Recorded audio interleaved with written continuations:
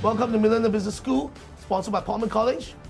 Today I want to talk to you about self-awareness, raising your self-awareness about everything that's going on.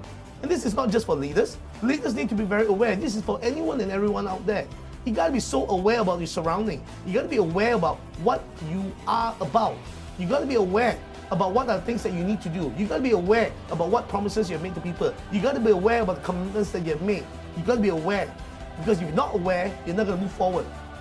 How can you be a human being without being aware about what's happening around you? Do you want to be known as the blur sotong? Do you want to be known as the octopus who doesn't know what the hell is happening? Think carefully and ask yourself a question. Are you blind? Are you stupid?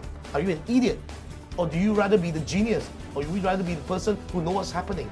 Or do you want the person to be making the difference? Are three types of people in this world. The people who see things happen. The people who don't know what the hell happened. And the people who make things happen. I choose to be the person to make things happen. What about you? Ask yourself the question. Be honest and stop lying to yourself.